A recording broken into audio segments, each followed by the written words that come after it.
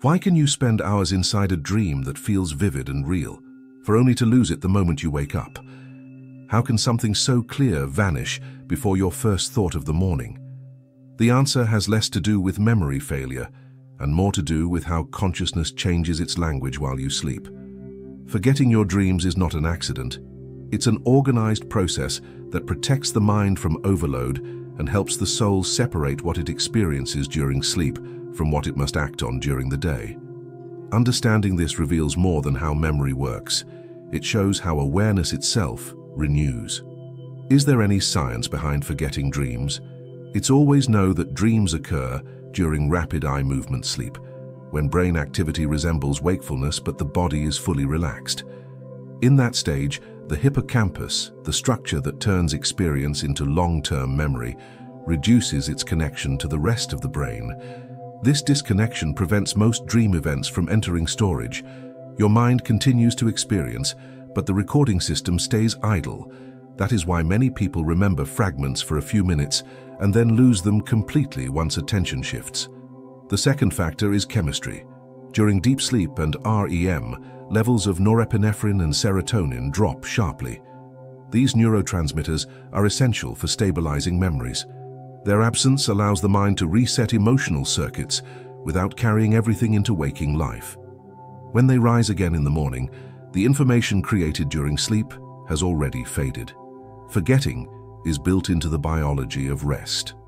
Finally, dreams often occur in networks that handle imagination and emotion, not language.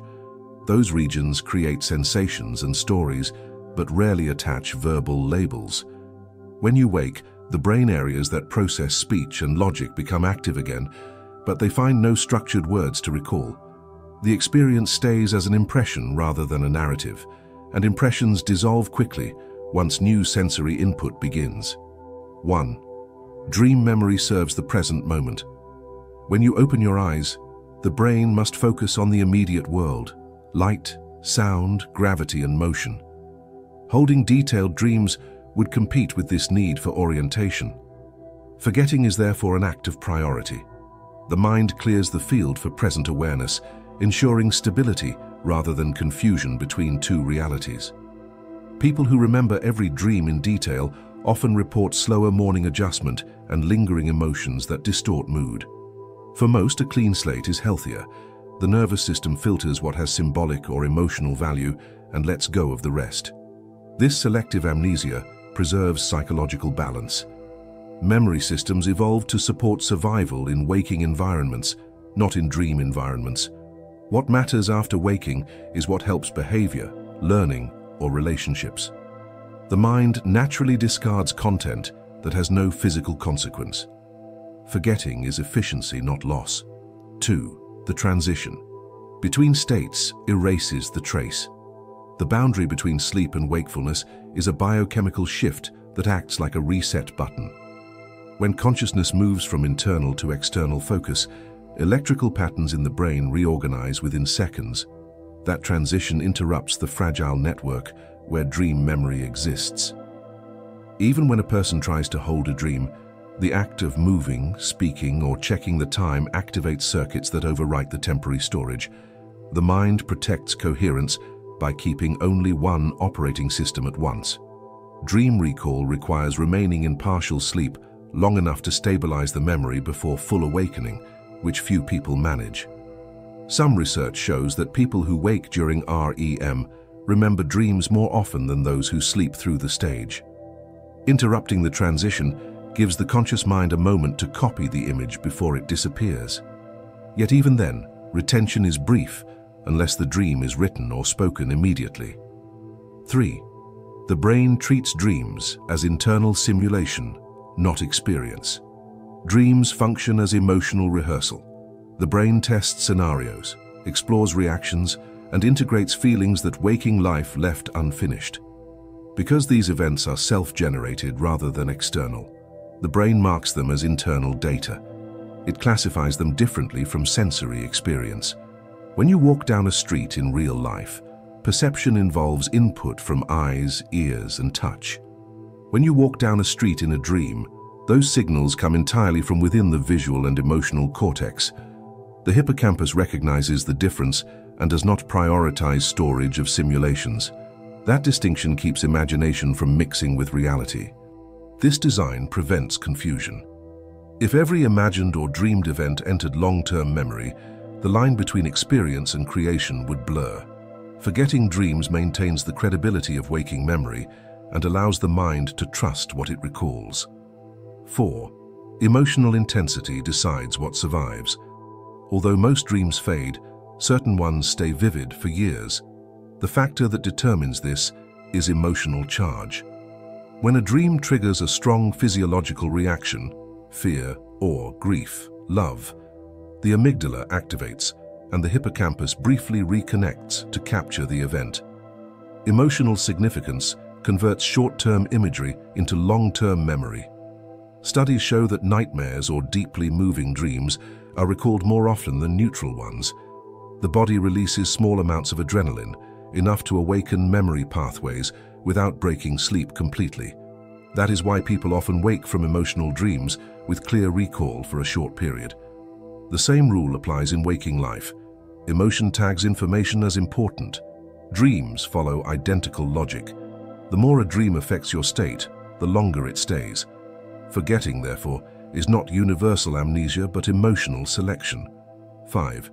Sleep protects the mind from cognitive overflow. During a single night, the brain processes vast amounts of data, daily impressions, unresolved thoughts, physical sensations, and emotional residues. Dreaming allows these elements to combine and reorganize. Retaining all that information would be overwhelming. Forgetting prevents overload. The mind uses dreams to balance, not to archive. When the task is done, storage would serve no purpose. By erasing most of the content, sleep keeps the conscious mind free to function creatively the next day. This constant cleansing protects against anxiety and cognitive fatigue. People deprived of REM sleep often experience irritability and poor focus, showing that the process itself, not the memory of it, is what matters. The benefit comes from the reorganization, not from remembering the scenes where it happened. 6. The soul uses dreams for alignment, not collection. From a spiritual view, the soul interacts with the deeper layers of consciousness during sleep to restore harmony. Those interactions are energetic, not linguistic, when the person wakes, only the vibration or mood remains. Forgetting ensures that spiritual adjustment stays subtle and natural, free from mental interference. Each night, the personal field of awareness expands into broader levels of intelligence. The information exchanged there supports emotional healing and intuitive guidance. Holding full recollection could distort its meaning because the waking mind would interpret it literally, the soul prefers understanding through feeling rather than detail. This explains why some people wake peaceful without knowing why. The purpose of the experience has already been absorbed. Remembering the story is unnecessary once the energy has completed its work. 7. Attention shapes what remains. Memory depends on attention. During dreams, focus drifts constantly. There is no consistent observer anchoring events. Without focused attention, memory traces cannot consolidate. Forgetting simply reflects the absence of observation. Lucid dreamers, those aware they are dreaming, often recall dreams more accurately because awareness itself records the sequence. Their focused state activates similar regions to those used in waking memory. The moment attention becomes deliberate, encoding improves. For ordinary dreaming, the observer is passive, Events flow without control or sustained awareness, so they vanish as soon as consciousness shifts. Training attention before sleep, such as through meditation or intention setting, can increase recall by preparing the mind to notice. 8. Dream forgetting. Maintains psychological boundaries. Human identity relies on clear separation between imagination and reality. Dream forgetting sustains that boundary. When you wake, your sense of self rebuilds around physical awareness, relationships and tasks. Detailed dream memories could merge symbolic material with factual life, causing confusion. Children, whose boundaries between imagination and reality are still forming, often recall dreams vividly and sometimes act them out. As the ego strengthens with age, the natural filter tightens. forgetting becomes part of psychological maturity, preserving stability. Therapists working with trauma sometimes use dreams to reveal hidden emotions, but they do so carefully. Integrating dream material into waking awareness must happen gradually, otherwise symbolic content may overwhelm. Forgetting protects the unprepared mind until understanding is ready. 9. The brain prioritizes integration over storage.